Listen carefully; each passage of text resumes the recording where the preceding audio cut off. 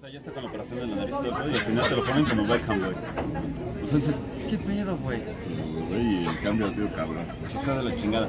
Te digo, entonces, uno, eh, te está chido porque te ponen a Constantine, te ponen a Satana, te ponen a Deathman, pero no te los ponen como si ya fueran parte de la, de la Justice League Dark.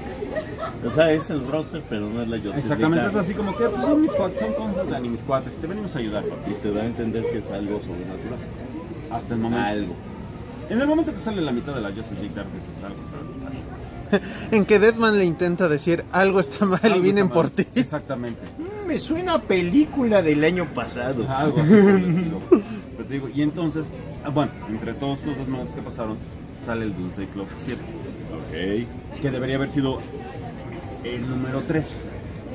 O sea, de tanto que ha extendido la historia Jeff Jones, originalmente iban a ser cuatro números que después se volvieron seis, ¿no? Era, ajá. Eran cuatro. Creo que eran dos, Eran luego dos, pasó a cuatro y... Ajá. Es una miniserie de tres que será hecha en cinco Par- partes par- y, parece y cómic comerás, de Malibu, güey. comerás siete y te venderé once. Sí, sí. Efectivamente. Pero no, parece, parece serie ¿En cuál de, se- pues de este ya se- Malibu. Pues sí. Porque el número 12 números cinco- quedó. 5 de 7, 4 de 6, 8 de 9. Así que dices, güey, la de Strike Back. Bueno, así Mar- Marvel también lo llegó a hacer. No, no, no, no. veces. Pero el problema de la cosa es que Strike Back era. eh, fue cuando la compraba, Ma- era Malibu. Luego la, la compró Marvel. Y luego se fue a Wildstorm. Y, o sea, así estuvo brincando porque na- nadie quería terminar la serie. Pero bueno, regresando al, al chisme, chisme, chisme. Entonces llega Gail Simon y le dice a, a Itaman Cyber. Estaba un día Itaman Cyber. Cyber ranteando. Estaba un día ahí Tamban Cyber leyendo el DAM Pero y rascándose los lo más cañón. ¿Se acuerdan que hubo una época de antes, después del Rebirth de Green Lantern, antes del Rebirth de Flash, no me acuerdo si fue antes o después, que Van Cyber no salía en ningún lado, que fue después de Firestorm. Es que Van Cyber hace tres números y descansa dos años, güey. No, no, es que no le daban chamba. Bueno, es que A Van Cyber no le daban es, trabajo. es alguien que no se hace querer. de entrada. Definitivamente. Y está más cabrón, porque todo este desmadre empezó por la cuestión del Comics Gate. Porque ahora el Comics Gate resulta que ya no es nada más, no me gusta tu arte o no haces comiquitos como a mí me gusta. Ya es, no tienes la misma visión política que tengo yo, te vamos a banear. Bueno, O sea, ya se volvió político, güey. O sea, pero así onda redneck, eh, gop, bien malpex, güey. Bien, eh, Entonces en el Inter, la conversación se empezó de, por parte de Gabe Simon. Van Cyber, ¿qué es lo último que te acuerdas de relevante de, De esta Flash del Rebirth. ¿Relevante? Flash Sí. O sea, el Flash Rebirth y el Green Lantern Rebirth. Son, son los son últimos, dos, es ¿no? lo único que. Decente, o sea. Sí es él, ¿no? Los sí, dos. los dos los hizo él. Por Él hace cosa, Green. Lantern Rebirth, hace el primera, la primera parte del Sinestro Corps Ajá. Es correcto. y luego no me acuerdo de él hasta Flash. Hasta Flash, güey, sí. Y después no, no había hecho Y después nada. de eso lo de Firestorm. Porque después de No, Flash porque- sí, porque viene el año 52, y o se sea, hace estás hablando de hace 52. 7 años, güey. Estás hablando que Ethan Cyber no tuvo chamba constante como 4 años, 5, no, 5 años que duró el... No, 5 años quitando los números de, de Firestorm. Porque después él se quedó escribiendo y dibujando.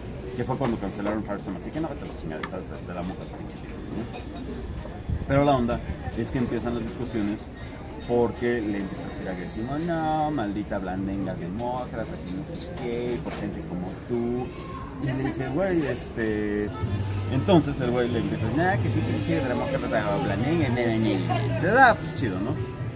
Pero que le contesta, también te quiero, te quiero recordar, güey, que tú estuviste en pláticas con amigos diciendo que lo peor que le podía pasar al país era que Trump, que era un payaso, que era un ridículo, bla, bla, bla, todo, cosas que todos sabemos, ¿no? Ya que hasta el mundo ya se ríe de él, pero bueno. Le dice, y en Twitter lo empezaste a defender. Entonces dice, no se vale que a tus amigos les digas una cosa y a tus santos engañes diciendo otra, güey. Y no se vale. Dice, honestamente, no vi tu video completo. Nada más vi 26 minutos y ya no aguanté, o sea, 26 minutos, güey. Güey, sin que fuera destripando.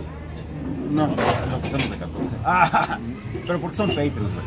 Pero la cosa de todo esto es que le empezó a tirar así que ña, ña, ña, y que yo rescaté tu carrera y porque no te daban chamba y te recuerdo que ahorita no tienes nada que hacer porque yo no, este, la gente no le gusta cómo escribes y no, dices, güey, se te voy a explicar mi semana.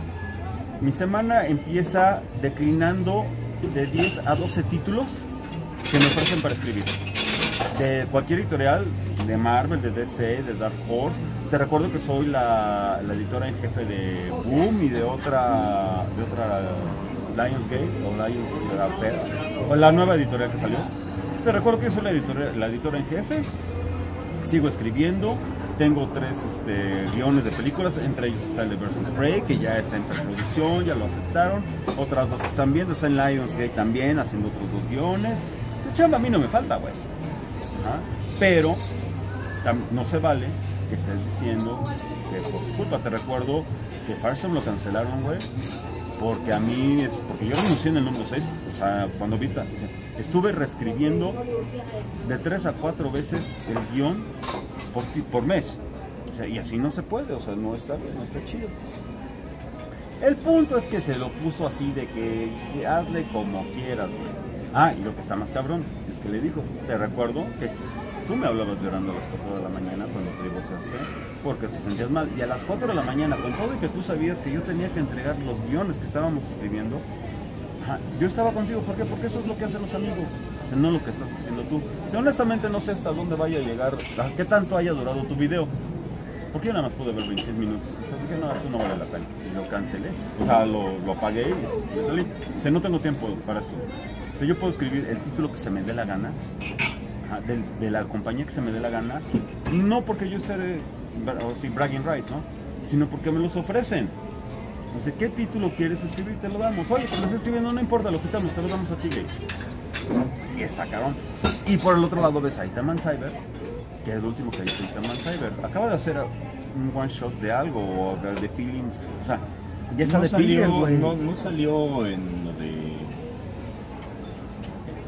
En el aniversario de Kirby, en los especiales de los one shots. En los de Kirby Challenge. Manto, En los de Kirby Challenge, ¿no? creo que sí, ¿no?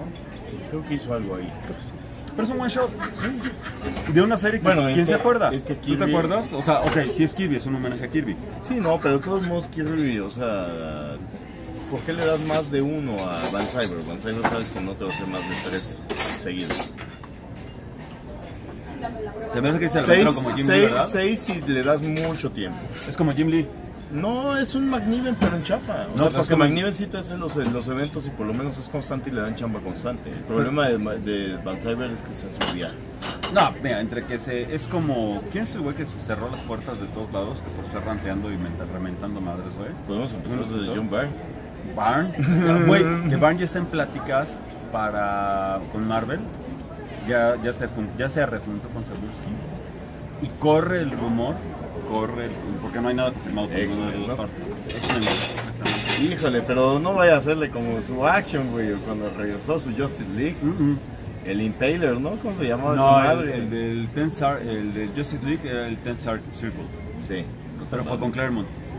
Ese lo escribió con Claremont. Es que Claremont va a salir también en los one shots de los villanos de Marvel. Él va a escribir el de Magneto. Ah, ya van a hacer su Forever Evil y su Evil Monk No, todo eso, güey. más o menos, es que están 10 haciendo- años, 20 años después, güey. Acuérdate que ahorita X-Men viene una reconstrucción en la que va a empezar un Cani, se cancela el Gold, se cancela el Blue y un Cani sale de manera semanal por Deberían de 10 cancelar o el 12, Red, güey.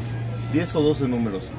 Este, quién sabe por qué no está en la cancelación. La o sea, portada ahorita- del Uncanny sale con el Wolverine con el traje de Barn. Ujú. Está bien chido.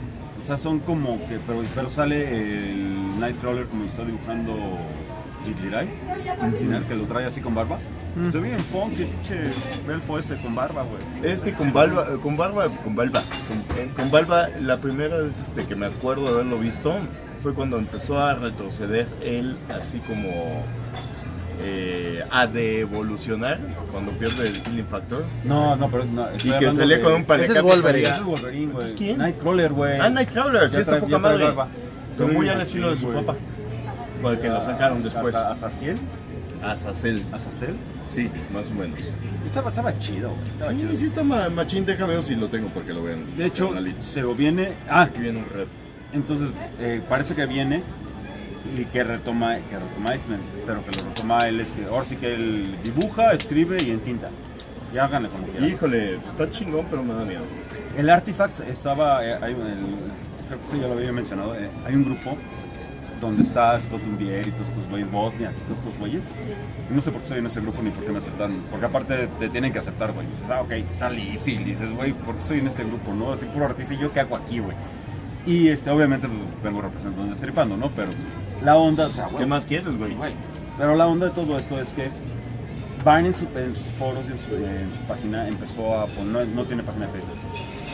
Ándale, está bien chido. Se ve el machín. Que, que ahorita la moda mucho es de los barbones. Hasta Red Richards tiene barbón.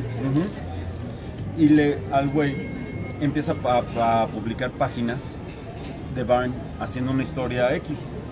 Ah, prum, pum, tss, no al güey le dice, no, esto no es ningún proyecto, nada, esto es una cosa personal para ahora sí que scratch that itch de algo que yo quería hacer con X-Men y que nunca lo, pu- lo pude publicar. Porque de hecho es eh, como temporalmente vendría siendo después de eh, of Future Past. Por, por el equipo, por la emisión y todo el desmadre. Está muy loco. Con, con X-Men no han regresado Porque es para ellos, o sea, no, eso no, no iba para editorial ni para imprimirse. Me queda claro. Y la gente empezó de que, no, es que sus lápices están muy luz y no sé qué. Y, y, así aguántense tantito. Lo, hizo los lápices más tight, así de que, güey, eso ya no necesita ni tinta, mándalo directo a, a impresión. Mira, Ba- Byron tiene una cualidad. El problema es que no sé si se ha vuel- vuelto lento, lazy, tiene demasiado contacto con sus fans y, y pierde mucho tiempo. los odia a todos, güey. Pero de todos modos contesta todo. Eh, y afloja mucho sus lápices en el aspecto de una publicación mensual. Pero cuando hace una comisión, por ejemplo, Ah, no, puta, güey, está cabrón. güey, Pero o sea, son de las comisiones que sí vale la pena pagar, ¿eh? Le, pone un... Barnes sacó un, título, un número, hizo Muy buen hizo calidad. un número, un one shot especial para Boom. Hasta luego, gracias, que te haga un fin de semana, don Tere. Está el, ¿cómo se llama? El, los lápices, los fondos. Y dices, güey, esto no es lazy, cabrón. No, es y, que... y él, él hace todo, menos, menos en los colores. Pero ya, ya, creo que también se divorció otro. Este, y ya eh, ya no le hace, Fátima Multibill que es su esposa, ya no le hace los colores. Pero están chidos los colores. Entonces, eh, la cosa es que te digo, empiezan así y luego, ay, es que está mal hecho tu dibujo porque le falta espacio para los globos y la historia y la ñi, ñi, ñi, ñi". Ah, pues lo vuelve a agarrar, lo vuelve, y sin moverle nada al dibujo, ahí están los globos, ahí está la historia ya. A raíz de esto es cuando Tienes un talento impresionante. Ah, Barnes está cabrón. Es cuando se topa con. Mira, algo están preparando para X-Men porque te digo, viene la maxi serie de 10-12 números en un can, Ajá. Pero sigue con el trío de escritores. Ujú. Que Ujú. la verdad, Aplicándolo a Spider-Man. Ujú. eh, exactamente un tipo Brain Trust o Que Dicen que está bien cabrón ese güey porque ahí se nos estábamos peleando por ver quién escribía quién. Mira, es muy difícil. Si lo hacen igual de bien que lo hicieron en Avengers, cuando se la, que de hecho se cuando llama casi cierra. X-Men Disassembled.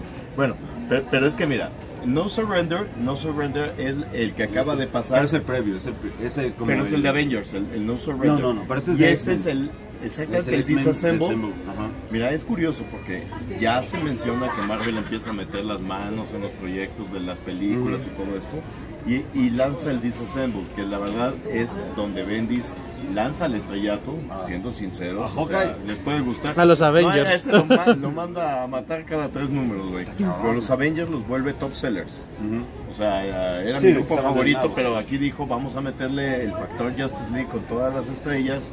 Vamos a meterle a Wolverine y Spider-Man para Sí, que venda. venda. sí. Exactamente. A Lucas Cage. eh, Vamos a meter a todos los que Ese, ese ya fue gusto de... Y aparte se dio el gusto de meter a los héroes que se le pegó la gana, porque hacían lo que querían, Fueron ¿no?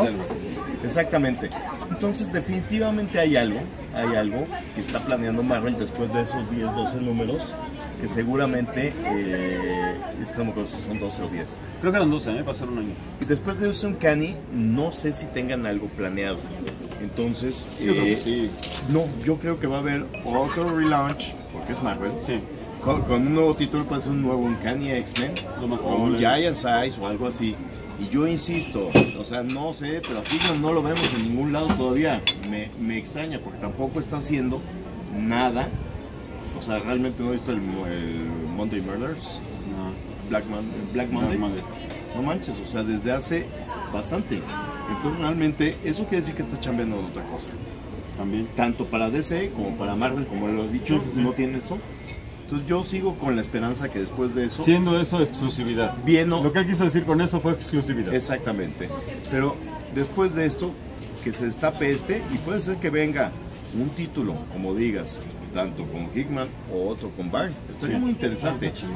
O, o a lo mejor hay dos, porque acuérdate que salió. X-Men puede sacar 10, güey. Y más ahorita, a mí lo que me llama la atención es que ya, ya Feige ya, ya dijo: no va a haber dos universos Marvel. No. Entonces, obviamente, ya vamos a ver aquí. ¿Se le va a hacer a Hugh Jackman? No, no, no, no, pero a ver, Hugh espérense. Jackman va a salir en Avengers, güey. Y otra que no hemos comenzado, comentado. eh, la serie de Scarlet Witch para televisión. Va a salir también la mexicana. Sí. Güey. Y de Loki también. Y también va a salir este. Güey. Y ojalá que hagan eh, el, el draft que fuimos recomendando Dan y yo de Scarlet Witch de Robinson. Güey, estaría muy chido. Entonces digo, mira. Para el stream, bueno, el servicio de streaming de, Sí, sí, de parece, que, parece que no hay mucho, güey, pero pues ya sé, la bronca esta del Comics Gate que ya es político. Eh, la balconeada de Gail Simón a Van Cyber, así que a ver, pinche redneck chillón, bótate, güey. No vamos a reírnos de ti como la ONU se rió de Trump, güey. Estuvo bien chingón. Este, está lo de Barn, que puede regresar o, no puede regresar. Está lo de X-Men Disassemble. Está lo de eh, 5G. Eh, no, hay, dos Marvel, eh, güey. Es- Está el retraso que dicen que es por cuestión china, o Savaro, que movieron, eh, cambiaron a Alita Battle Angel para de fecha, que de hecho ahí mentó madres porque le movieron el movie draft. Y movieron también Dark Ah, Phoenix. lo he metido mi movie. Yo. Dark Phoenix va para 14 de febrero. el- no, la quitaron de 14, iba para diciembre y la movieron para el 14 de febrero. Y Día del amor y la pusieron- amistad. Pero es por, no, es por cuestiones Deadpool chinas, así se estrenó. Sí, así se estrenó. Puros cuentos Y chicos. lo que, fíjate lo que hizo Marvel para contrarrestar el efecto Aquaman. Ya, lo enfocaste a Robin, güey. Este, para eh, contrarrestar el efecto Aquaman, va a relanzar Deadpool 2. En los mismos días que, que estrenan Aquaman. Hay demasiado movimiento. Entonces, va, va a estar, va a estar cargado. bueno, por lo menos tendremos de qué platicarles a nuestros camaritos. Siempre tenemos de qué, güey. Si no, pues hablamos de las intimidades de Batman.